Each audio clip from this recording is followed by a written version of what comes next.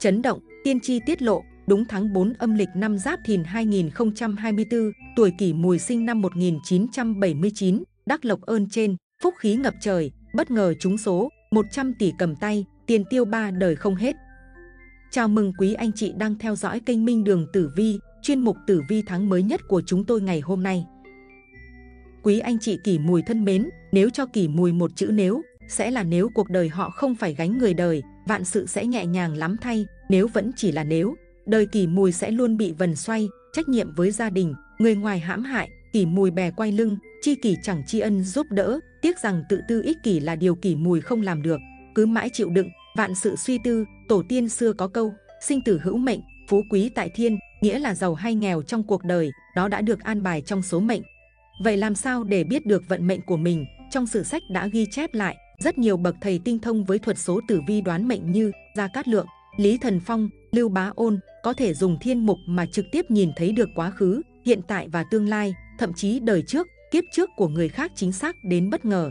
Các nhà huyền học còn nói, vận mệnh của con người tuy đã là được định sẵn từ trước, nhưng không phải là không thể thay đổi được, thế nhưng mưu sự tại nhân, hành sự tại thiên, nếu sự cố gắng của con người không thuận thời thế, thì rất dễ dẫn đến những lầm đường lạc lối, cả cuộc đời phấn đấu nỗ lực mà vẫn xa cơ lỡ vận, lận đận trăm bề, hiểu rõ điều đó. Sau 963 năm ghi chép và kế thừa, giới huyền học đã đưa ra luận giải dưới đây. Nếu tín chủ thuộc tuổi kỷ mùi sinh năm 1979, hãy lắng nghe và chiêm nghiệm. Sau này tiến chủ sẽ hiểu ra vận mệnh của mình đã được cải biến tốt lành và theo luận giải mới nhất từ tiên tri tử vi đã chỉ ra rằng đúng tháng 4 âm năm Giáp Thìn, tuổi kỷ mùi, sinh năm 1979, nhờ không ngừng phấn đấu nỗ lực mà vận may lội ngược dòng, cuộc sống bất ngờ thăng hoa rực rỡ, không những sự nghiệp vững chắc ổn định mà tài vận và đời sống tình cảm cũng hưng thịnh và hạnh phúc. Đặc biệt, đúng trong tháng 4 âm lịch này, càng làm việc càng gặt hái được nhiều thành công, thần tài và quý nhân luôn sát cánh trong mọi nẻo đường, giúp bản mệnh gặp nguy hóa an, phùng hung hóa cát. Xin mời quý vị hãy cùng Minh Đường Tử Vi theo dõi phần luận giải chi tiết tử vi qua video dưới đây nhé. Quý anh chị kỷ mùi thân mến, chẳng có vấn đề gì với việc anh chị đang đi chậm rãi hoặc cuộc đời anh chị không được tiến lẹ, tiến mau, chỉ cần anh chị không dừng lại, chỉ cần anh chị của hôm nay tốt hơn anh chị của ngày hôm qua, đấy đã là sự đang tiến bộ rồi, anh chị kỷ mùi à. Trải qua một năm giáp thìn đầy biến động với những vất vả gian truân, hẳn bất cứ ai trong chúng ta cũng đặt toàn bộ hy vọng vào năm mới giáp thìn này, mong rằng cuộc sống sẽ khấm khá hơn.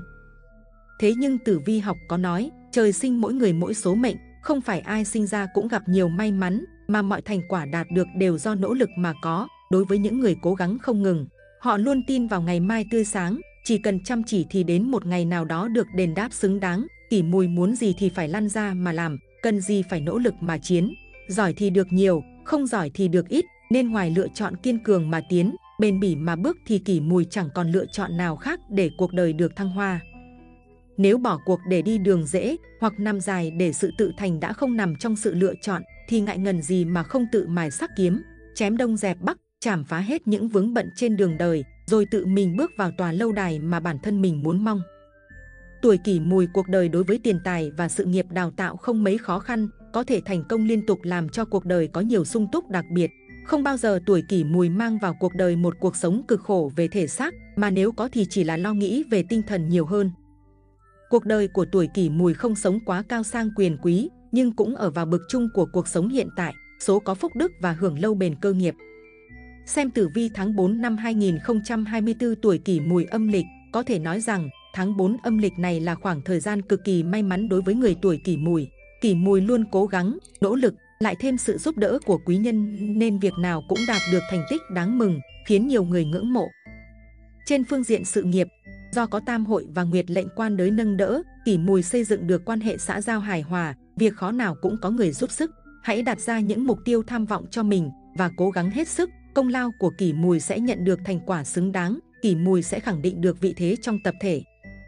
Trên phương diện tài lộc, kỷ mùi có quan hệ khách hàng, đối tác rộng mở nên làm việc gì cũng dễ dàng hơn nhiều. Nếu đã chuẩn bị đầy đủ các yếu tố nhân lực, vật lực thì hãy tự tin vào bản thân và những quyết định của mình có thể kỷ mùi sẽ phải làm việc hơi vất vả một chút, song tiền chảy ào ào về túi sẽ khiến kỷ mùi cảm thấy những gì mình bỏ ra không uổng phí. Chuyện tình cảm cũng có nhiều tin vui do ngũ hành tương sinh tác động, kỷ mùi và nửa kia biết bao dung và tha thứ cho những lỗi lầm của nhau.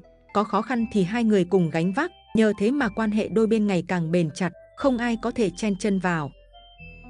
Sau đây là phần luận giải tử vi chi tiết cho tuổi kỷ mùi sinh năm 1979 trong tháng 4 âm lịch năm Giáp Thìn 2024 trên bốn phương diện chính của cuộc sống gồm sự nghiệp, tài vận, tình duyên, sức khỏe. Mời quý vị cùng theo dõi. Về phương diện sự nghiệp, xem tử vi tháng 4 âm lịch năm Giáp Thìn 2024 cho thấy tháng mới người tuổi kỷ mùi có vận trình sự nghiệp diễn ra tương đối tốt, các hạng mục công việc của bạn diễn ra khá suôn sẻ. Mặc dù cũng gặp không ít khó khăn, nhưng cũng được hoàn thành nhanh chóng nhờ sự đoàn kết của bạn bè và đồng nghiệp xung quanh. Tháng 4 âm lịch này, bản mệnh tuổi kỷ mùi nhận được nhiều sự ủng hộ của mọi người, nhờ thế mà bạn cảm thấy quyết tâm và tự tin hơn. Bản mệnh tự tin nêu ý kiến trước tập thể, nhờ đó nhận được sự đánh giá tốt của cấp trên và đồng nghiệp. Tuy nhiên, việc lập kế hoạch bạn cũng cần phải căn cứ vào thực tế nhiều hơn, bản mệnh không nên đặt ra những mục tiêu viển vông, vì như vậy chỉ tạo áp lực cho chính bản thân mình, chứ không thể giúp cho bản thân đạt được thành công như dự kiến. Tháng mới này, làm việc gì thì người tuổi kỷ mùi cũng phải nhớ ý thức được vị thế và tiềm năng của mình. Không nên chạy theo xu hướng, khi nào phát huy được thế mạnh thì bạn mới xác lập được chỗ đứng cho mình. Nguyệt lệnh lâm dưỡng, khuyên bản mệnh tuổi kỷ mùi, hãy kiên trì trước những khó khăn và thách thức, không nên sợ vất vả. Bạn càng bỏ ra nhiều công sức và tâm huy ê cho công việc thì thành quả bạn gặt hái được lại càng đáng mừng. Trong việc hợp tác làm ăn, bản mệnh tuổi kỷ mùi nên hợp tác với tuổi mậu thân và canh tuất. Hai tuổi này rất tương hợp với tuổi kỷ mùi trong đường tài lộc. Vì thế nên chọn hai tuổi này để hợp tác thì công việc sẽ dễ dàng gặt hái được nhiều thành công vang dội, nhiều tài lộc thu về. Tuổi kỷ mùi, tháng 4, nói về quý nhân phù trợ của 12 con giáp, cho thấy sự cần mẫn chậm mà chắc của tuổi kỷ mùi đều kết hợp được với sự thông minh nhanh nhẹn của tuổi mão sẽ giúp công việc tiến triển thuận lợi hơn nhiều. Để tuổi kỷ mùi hợp với tuổi mão, tuổi ngọ, tuổi hợi, bất kể là trong kinh doanh, làm ăn hay hôn nhân gia đình đều rất thuận lợi. Theo đó, quý nhân phù trợ của tuổi kỷ mùi chính là tuổi mão, tuổi hợi và tuổi ngọ. Hướng may mắn là hướng đông. Một điều quan trọng nữa là người tuổi kỷ mùi được Phật bản mệnh là Phật Đại Nhật Như Lai hộ mệnh. Phật Đại Nhật Như Lai là vị thần tượng trưng cho ánh sáng và trí tuệ. Người tuổi kỷ mùi nên thỉnh hoặc mang bên mình bản mệnh Phật Đại Nhật Như Lai.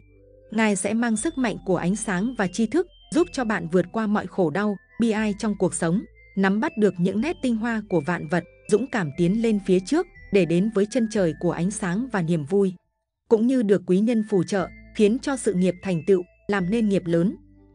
Đeo hình tượng Phật Đại Nhật Như Lai sẽ giúp bảo trợ giúp cho tuổi kỷ mùi chống lại những luồng khí xấu, hóa giải sao hạn, sao xấu, tránh được tiểu nhân hãm hại. Ngoài ra, người tuổi kỷ mùi sẽ nhận được sự phù hộ của Ngài, một đời được bình an, gặp hung hóa cát, khi gặp điềm dữ sẽ hóa lành, khi mất đi được vãng sinh vào thế giới cực lạc. Những người tuổi kỷ mùi khi mang bên mình bản mệnh Phật Đại Nhật Như Lai, cùng lời cầu khấn thành tâm sẽ được giải thoát khỏi tam độc tham sân si. Còn giúp hóa giải vận nạn, mang đến cho người tuổi kỷ mùi bình an, may mắn trong cuộc sống. Khi thỉnh Phật và hình tượng Phật bản mệnh, giúp bản thân tự liên hệ, tự hoàn thiện các phẩm chất nhân văn, sống hài hòa hơn mỗi ngày. Những quả phước thiện sẽ đè nén tất cả quả bất thiện, khác hoặc nếu quả xấu có hiện hành thì cũng trở thành nhỏ, không đáng kể, không nguy hại.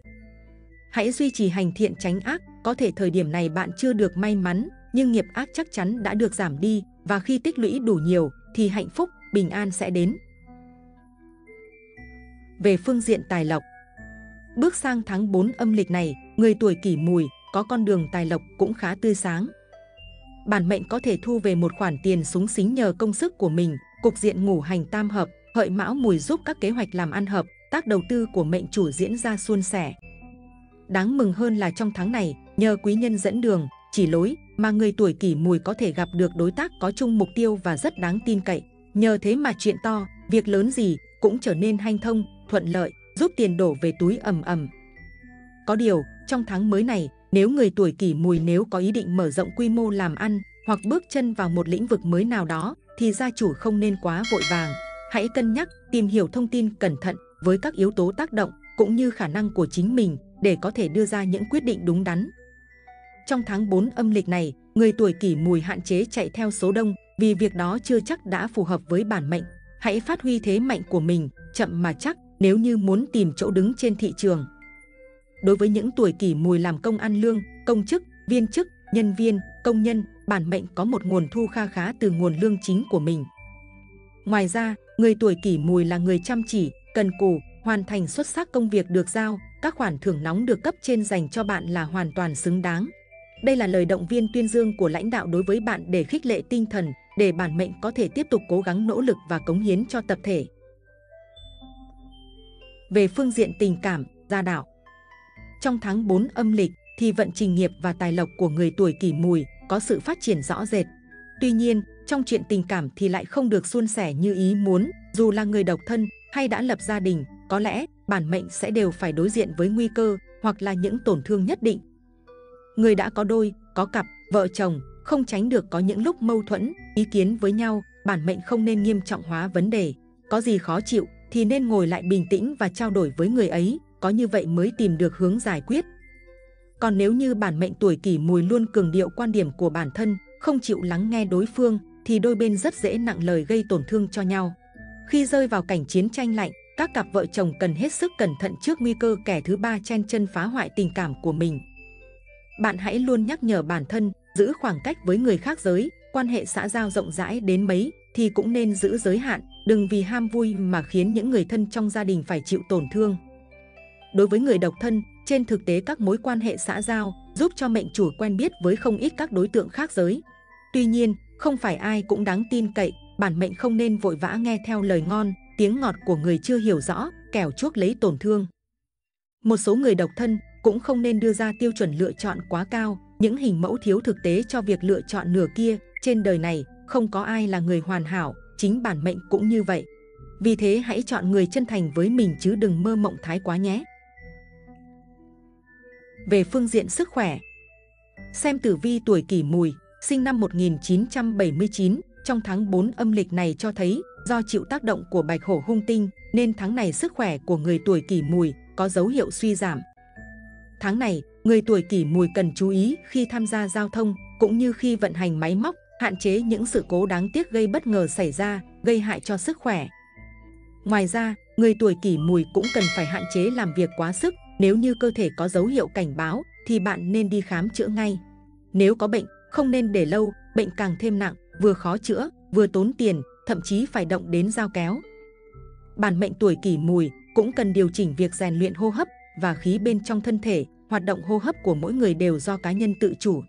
Nhưng thông qua rèn luyện hô hấp có thể kiểm soát được dòng khí trong cơ thể. Đây là biện pháp dưỡng tâm và phát huy tác dụng rất tốt cho sức khỏe, đặc biệt là người cao tuổi.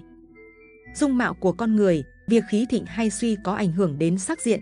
Chẳng hạn như khí thịnh thì sắc mặt sẽ sáng sủa, có thần thái, có thể khiến sắc mặt trở nên trẻ đẹp hơn, cơ thể khỏe mạnh và tràn đầy năng lượng, đạt được hiệu quả hơn cả việc sử dụng mỹ phẩm.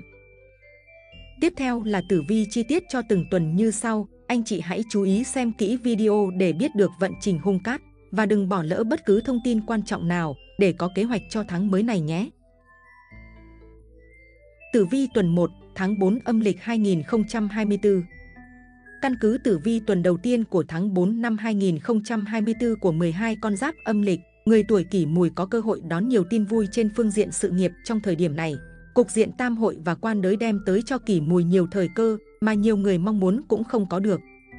Với người tham gia thi cử, tuyển dụng trong tháng này, kỷ mùi tự tin phát huy vốn hiểu biết của mình nên có thể gây ấn tượng tốt đẹp với giám khảo hoặc nhà tuyển dụng. Hãy tự tin thỏa thuận một mức lương hoặc một vị trí mong muốn, khả năng kỷ mùi được đáp ứng là rất cao. Với người làm công ăn lương, kỷ mùi hợp tác tốt với đồng nghiệp nên công việc có thể hoàn thành nhanh chóng hơn so với dự kiến. Thậm chí kỷ mùi còn có thể là người chỉ đường dẫn lối, truyền cảm hứng cho bạn bè, đồng nghiệp mình. Những thành tích đạt được trong công việc có thể giúp kỷ mùi lọt vào mắt xanh của quý nhân. Đối phương sẽ giới thiệu thêm cho kỷ mùi nhiều cơ hội bồi dưỡng, rèn luyện các kỹ năng. Hãy khiêm tốn học hỏi, kỷ mùi sẽ tiếp thu được những kiến thức hữu ích, có giá trị cho sự nghiệp sau này. Tuy nhiên, theo tử vi tháng 4 năm 2024 tuổi kỷ mùi âm lịch, hung tinh thiên cầu rình rập thỉnh thoảng vẫn sẽ đem tới những rắc rối cho bản mệnh. Tuần này kỷ mùi nên tập trung vào nhiệm vụ, chớ nên khoe mẽ, ra vẻ ta đây khiến kẻ xấu nổi lòng tham, tìm cách cướp mất công lao của kỷ mùi hoặc hạ bệ danh tiếng của kỷ mùi phương diện tài lộc cũng xuất hiện nhiều điểm sáng, dù làm trong lĩnh vực gì đi nữa, kỷ mùi cũng vẫn có thể kiếm tiền về đầy túi, dùng dình chi tiêu. Với người làm công ăn lương, những cống hiến cho tập thể giúp kỷ mùi nhận được một khoản thưởng nóng hậu hĩnh, thậm chí cấp trên còn có thể chủ động tăng lương cho kỷ mùi. Kỷ mùi cũng có thể chủ động xin tăng lương, thăng chức nếu thấy công sức mình bỏ ra xứng đáng với điều đó, chắc hẳn cấp trên cũng muốn giữ chân một nhân viên xuất sắc như kỷ mùi. Với người làm kinh tế, kỷ mùi niềm nở nhiệt tình nên thu hút được lượng lớn khách hàng. Bên cạnh đó kỷ mùi còn không ngừng thay đổi bản thân để bắt kịp với xu thế của thị trường. Nhiều người từng mua hàng của kỷ mùi đều muốn quay lại ủng hộ những lần sau. Quý nhân xuất hiện có thể đem tới cho kỷ mùi những cơ hội mở rộng quy mô đầu tư, kinh doanh. Tất nhiên kỷ mùi sẽ phải khá vất vả đấy, nhưng kỷ mùi làm đến đâu thấy hiệu quả đến đấy.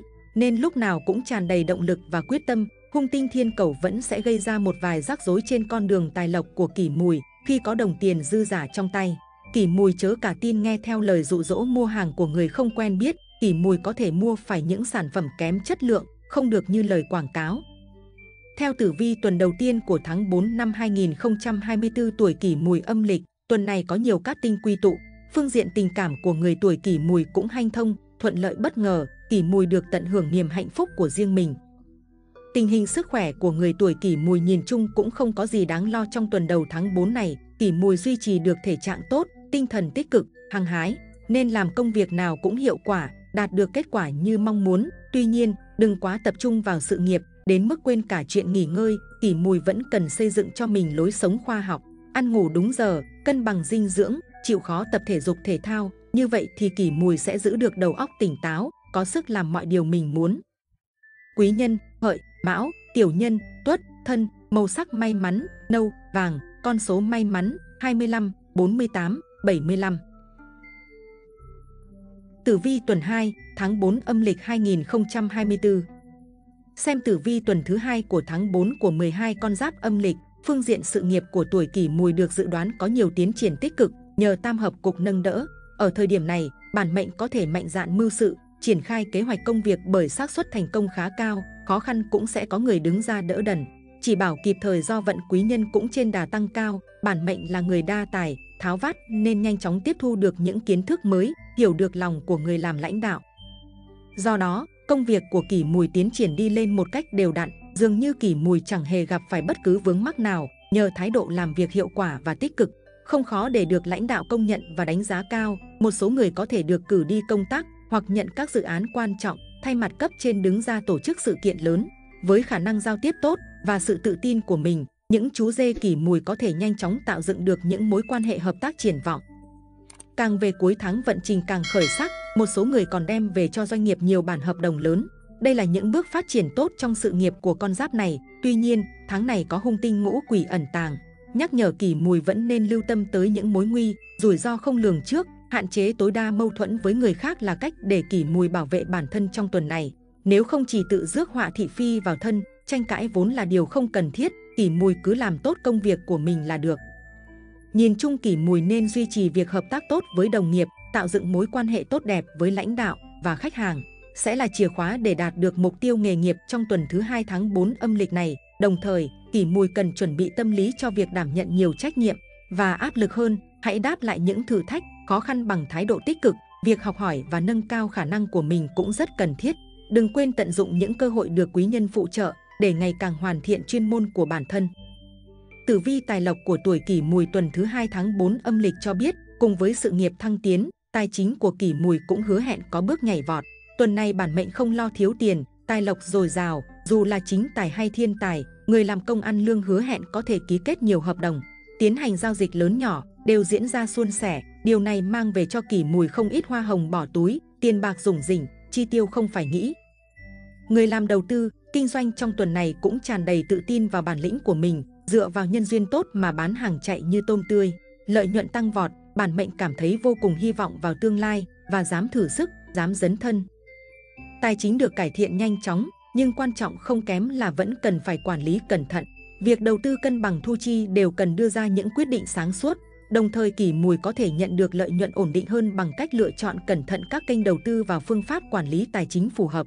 Một số người cũng có điều kiện giải quyết các khoản nợ trước đó, giải tỏa áp lực tinh thần. Tuy nhiên, người tuổi kỷ mùi nên chú ý kiếm tiền là giải pháp lâu dài, đừng hủy hoại sự giàu có của mình chỉ vì những hành động đi đường tắt, đánh bạc, đỏ đen, bất chấp luật pháp. Tử vi tuần thứ hai tháng 4 tuổi kỷ mùi âm lịch về phương diện tình duyên cho biết, chuyện tình cảm của những chú dê đón nhiều tin tức tốt lành trong tuần này, may mắn về tình duyên sẽ đến nhờ những nỗ lực của chính con giáp này. Nhìn chung, sức khỏe của tuổi kỷ mùi bình ổn trong tuần thứ hai tháng 4 âm lịch này, có điều, dưới ảnh hưởng của nguyệt lệnh lâm mộ, tuổi kỷ mùi có thể gặp một số vấn đề về sức khỏe, tuy không quá đáng ngại, nhưng lâu dài vẫn tác động xấu tới cơ thể kỷ mùi. Quý nhân, hợi, mão, tiểu nhân, tuất, thân, màu sắc may mắn, nâu, vàng, con số may mắn 19, 21, 32. Tử vi tuần 3, tháng 4 âm lịch 2024 Theo tử vi tuần thứ 3 tháng 4 của 12 con giáp âm lịch, sự nghiệp của người tuổi kỷ mùi trong tuần thứ ba này được nhiều cát tinh cao chiếu nên khởi sắc rõ rệt. Công việc triển khai thuận lợi, quan hệ tam hội mở ra nhiều cơ hội thăng tiến cho con giáp này. Nếu kỷ mùi biết tận dụng thời cơ đúng lúc, lại thêm nguyệt lệnh quan đới chống lưng, nên tháng này rất phù hợp để cầu chức cầu danh, hứa hẹn những chức vụ mới, vị trí mới đầy xứng đáng với nỗ lực đã bỏ ra. Tuần này cho thấy rõ tinh thần làm việc hăng say của những chú dê, kỷ mùi khá tự tin vào những việc mình đang làm. Chính vì vậy mà kỷ mùi chủ động làm việc chứ không cần ai phải nhắc nhở, không còn là giai đoạn ngồi chờ việc hay phải đợi có người thúc ép nữa. Bản mệnh chủ động sông sáo hơn hẳn, con giáp này cũng có định hướng rõ ràng hơn trong công việc, tham vọng và mục tiêu rõ ràng là kim chỉ nam để kỷ mùi vươn mình mạnh mẽ về phía trước. Nếu biết phát huy điểm mạnh của mình, kỷ mùi hoàn toàn có thể mang lại lợi nhuận cho công ty và nhận được một khoản thưởng nóng từ đó. Tử vi tuần thứ 3 tháng 4 âm còn cho thấy các mối quan hệ xã giao của kỷ mùi tốt hơn trước rất nhiều. Nếu kỷ mùi biết cách khai thác lợi thế này, kỷ mùi có thể sẽ kết nối được với người có tầm ảnh hưởng, tìm thấy thêm cơ hội phát triển phù hợp với năng lực của mình.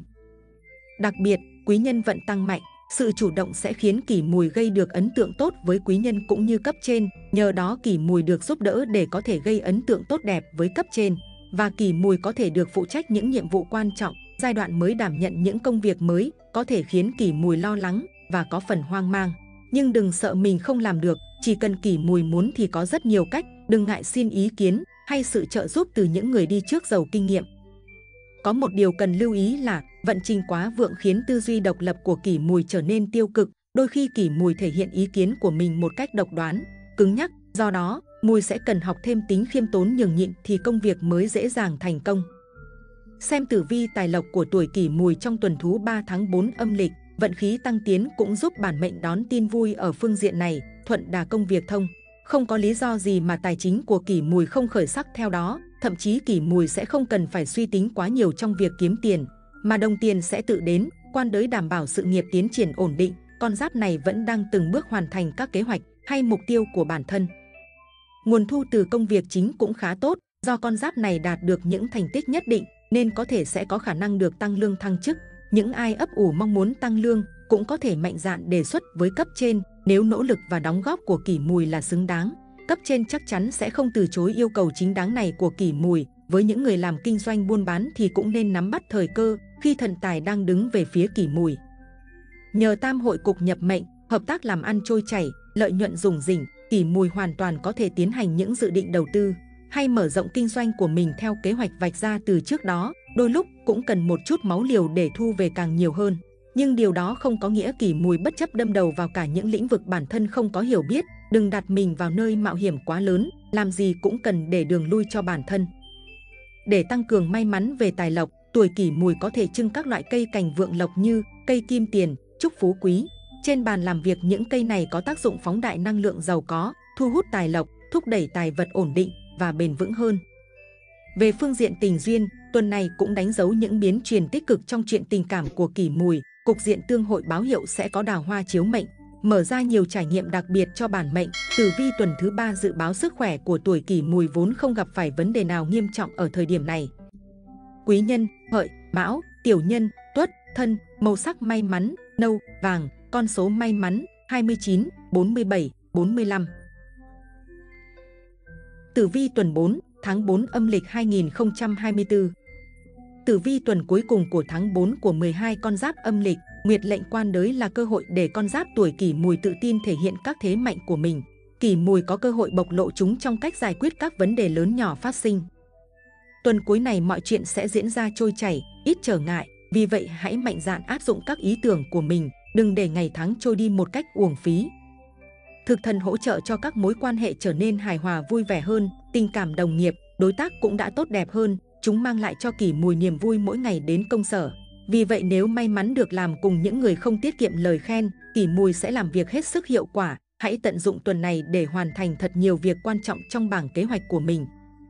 Tử vi tuần cuối tháng 4 tuổi kỷ mùi âm lịch, bát bạch nhập cung chính Tây, cơ hội kiếm tiền xuất hiện trước mắt. Liệu kỷ mùi có thể nắm lấy và khiến cho tiền đổ đầy túi kỷ mùi hay không? Hãy mạnh dạn và liều lĩnh hơn một chút nhé, với những ai chịu khó khai thác năng lực của mình.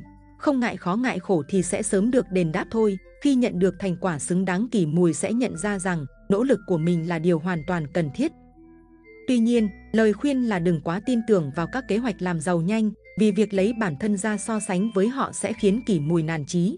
Vận may từ trên trời rơi xuống thường là cái bẫy, hoặc có thể ai đó đang che giấu đi những khó khăn mà họ từng trải qua mà thôi.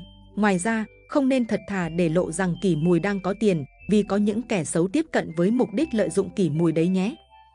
Tử vi tuần cuối tháng 4 tuổi kỷ mùi âm lịch, vận trình tình duyên của người tuổi mùi thuận buồm xuôi gió, một gia đình êm ấm sẽ mang lại cho kỷ mùi nhiều động lực hơn trong cuộc sống. Tử vi tuần cuối tháng 4 tuổi kỷ mùi âm lịch chỉ ra một số vấn đề liên quan đến sức khỏe như bị lây bệnh hoặc bệnh cũ tái phát. Việc này sẽ khiến cuộc sống của kỷ mùi trở nên phiền toái hơn. Quý nhân, hợi, mão, tiểu nhân, tuất, thân, màu sắc may mắn, hồng, vàng, con số may mắn 47, 29, 36. Quý vị thân mến, ngày sinh là yếu tố quan trọng có ảnh hưởng lớn tới cuộc đời của một người. Ngày sinh tốt góp phần tạo nên lá số tử vi cát lợi, hứa hẹn số phận may mắn và tốt lành. Cụ thể những ngày sinh đại cát của người tuổi mùi là ngày nào và những ngày sinh khác ẩn chứa bí mật gì về vận thế của con giáp này. Hãy cùng Minh Đường Tử Vi tham khảo những ngày sinh đại cát nhất của con giáp này nhé. Người tuổi mùi sinh ngày mùng 7 âm lịch, tính cách ôn hòa, khoan dung, nhân duyên tốt, con đường xã giao cũng thoải mái tốt đẹp, gia vận hài hòa, một đời an lạc, đặc biệt là đường tài vận dồi dào, không cần lo nghĩ cái ăn cái mặc. Người tuổi mùi sinh ngày 12 âm lịch, có trí khí, có tài năng, là người mang mệnh lãnh đạo, dẫn dắt tập thể, từ trung niên bắt đầu phát vận, thăng chức tăng lương, gia nghiệp hưng vượng, đạt tới đỉnh cao danh vọng. Người tuổi mùi sinh ngày 13 âm lịch, có tướng mạo đoan chính, tài năng xuất chúng, đạt được nhiều thành tựu xuất sắc, một đời vinh quang, nữ mệnh tốt hơn nam mệnh, có thể thành nữ cường nhân. Người tuổi mùi sinh ngày 14, có thể hưởng phúc của ông bà tổ tiên, thường xuyên gặp quý nhân giúp đỡ, một bước lên mây, nhanh chóng thành công và đạt được tài lợi song toàn. Người tuổi mùi sinh ngày 28 âm lịch, tinh lực dồi dào, túc trí đa mưu, làm việc quả quyết cương nghị, có thể tự thân lập nghiệp, độc lập tự chủ, một mình gây dựng cơ đồ, con người không ngại khó khăn gian khổ, vững bước tiến lên, can trường dũng cảm. Người tuổi mùi sinh ngày 29, một đời hưng vượng, gia vận dồi dào, tuổi trẻ mặc dù bình thường, nhưng từ trung niên có thể thành nghiệp, có thành tựu, dần dần trở thành đại phú hào.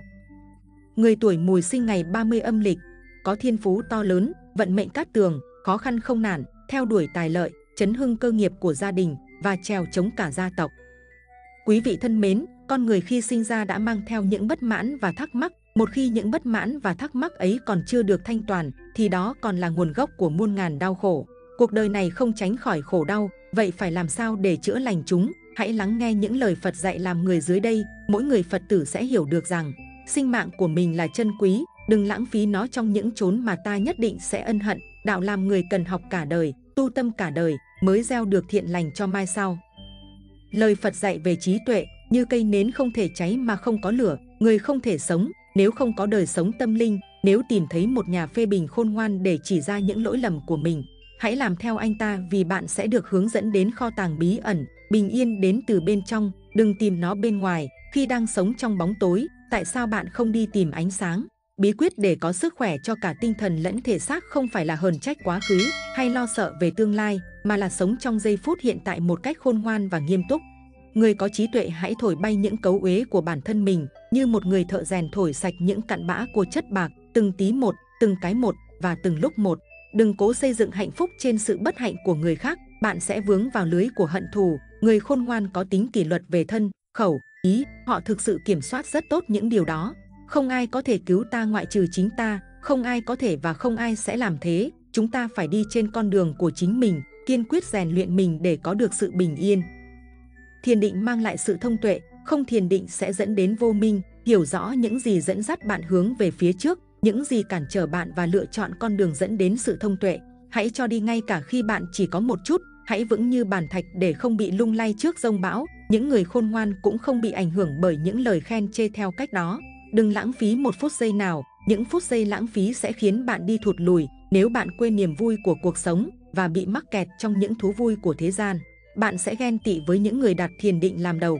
Sở dĩ người ta đau khổ chính vì mãi đeo đuổi những thứ sai lầm. Nếu bạn không muốn rước phiền não vào người, thì người khác cũng không cách nào gây phiền não cho bạn. Vì chính tâm bạn không buông xuống nổi, bạn hãy luôn cảm ơn những ai đem đến nghịch cảnh cho mình. Bạn phải luôn mở lòng khoan dung lượng thứ cho chúng sanh.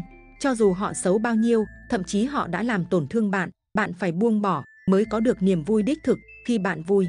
Phải nghĩ rằng niềm vui này không phải là vĩnh hằng. Khi bạn đau khổ, bạn hãy nghĩ rằng nỗi đau này cũng không trường tồn. Sự chấp trước của ngày hôm nay sẽ là niềm hối hận cho ngày mai. Bạn có thể có tình yêu, nhưng đừng nên dính mắc vì chia ly là lẽ tất nhiên. Đừng lãng phí sinh mạng của mình trong những chốn mà nhất định bạn sẽ ân hận. Khi nào bạn thật sự buông xuống, thì lúc ấy bạn sẽ hết phiền não. Mỗi một vết thương đều là một sự trưởng thành. Người cuồng vọng còn cứu được, người tự ti thì vô phương. Chỉ khi nhận thức được mình, hàng phục chính mình, sửa đổi mình mới có thể thay đổi người khác. Bạn đừng có thái độ bất mãn người ta hoài. Bạn phải quay về kiểm điểm chính mình mới đúng. Bất mãn người khác là chuốc khổ cho chính bạn. Một người nếu tự đáy lòng không thể tha thứ cho kẻ khác, thì lòng họ sẽ không bao giờ được thanh thản. Người mà trong tâm chứa đầy cách nghĩ và cách nhìn của mình thì sẽ không bao giờ nghe được tiếng lòng người khác. Hủy diệt người chỉ cần một câu, xây dựng người lại mất ngàn lời. Xin bạn đa khẩu hạ lưu tình. Lương tâm là tòa án công bằng nhất của mỗi người. Bạn dối người khác được, nhưng không bao giờ dối nổi lương tâm mình. Người không biết yêu mình thì không thể yêu được người khác. Có lúc chúng ta muốn thầm hỏi mình, chúng ta đang đeo đuổi cái gì? Chúng ta sống vì cái gì? Đừng vì một chút tranh chấp mà xa lìa tình bạn trí thân của bạn. Cũng đừng vì một chút oán giận mà quên đi thâm ân của người khác. Cảm ơn đời với những gì tôi đã có, cảm ơn đời những gì tôi không có. Nếu có thể đứng ở góc độ của người khác để nghĩ cho họ, thì đó mới là từ bi. Nói năng đừng có tánh châm chọc, đừng gây thương tổn, đừng khoe tài cán của mình, đừng phô điều xấu của người, tự nhiên sẽ hóa địch thành bạn.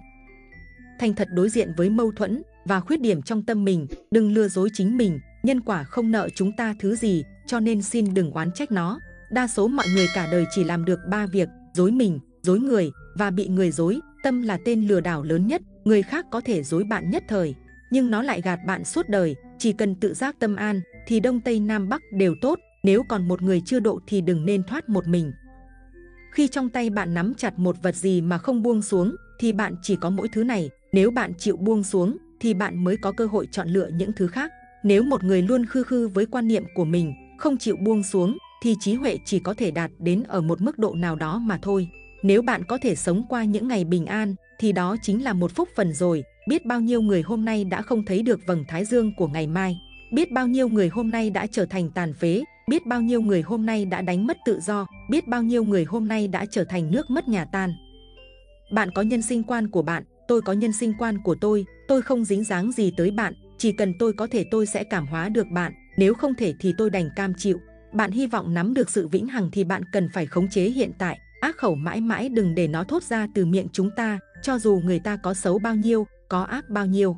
Bạn càng nguyền rủa họ, tâm bạn càng bị nhiễm ô, bạn hãy nghĩ họ chính là thiện tri thức của bạn. Người khác có thể làm trái nhân quả, người khác có thể tổn hại chúng ta, đánh chúng ta, phỉ báng chúng ta, nhưng chúng ta đừng vì thế mà oán hận họ. Vì sao? Vì chúng ta nhất định phải giữ một bản tánh hoàn chỉnh và một tâm hồn thanh tịnh. Nếu một người chưa từng cảm nhận sự đau khổ khó khăn thì rất khó cảm thông cho người khác. Bạn muốn học tinh thần cứu khổ cứu nạn thì trước hết phải chịu đựng được khổ nạn. Thế giới vốn không thuộc về bạn. Vì thế bạn không cần vứt bỏ. Cái cần vứt bỏ chính là những tánh cô chấp. Vạn vật đều cung ứng cho ta, nhưng không thuộc về ta, bởi chúng ta không thể thay đổi được thế giới xung quanh.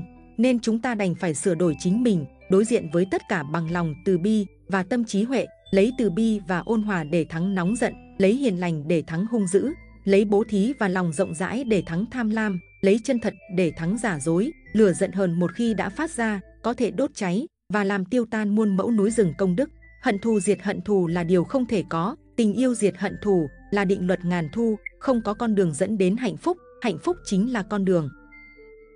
Quý vị thân mến, trên đây là những lời khuyên răn của Đức Phật dành cho những người muốn thanh lọc nhân tâm, giảm bớt phiền não bằng cách hướng đến Phật Pháp. Hãy hướng tâm trí mình theo ánh sáng của lời Phật dạy và hãy ghi nhớ rằng bình an chỉ có khi nó được xuất phát từ trong tâm hồn mình. Cảm ơn quý vị anh chị đã lắng nghe. Còn bây giờ xin chào, hữu duyên ta sẽ còn gặp lại.